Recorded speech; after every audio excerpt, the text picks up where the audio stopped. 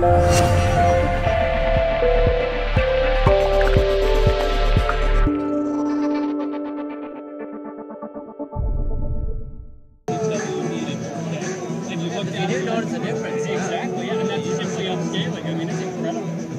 was my that was my fear is that a lot of the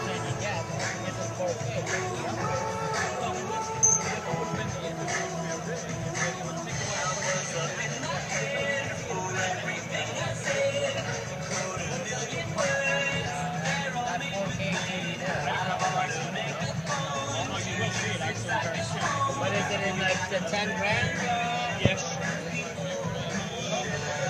Yeah, I guess I should say it's much more reasonable than the 84.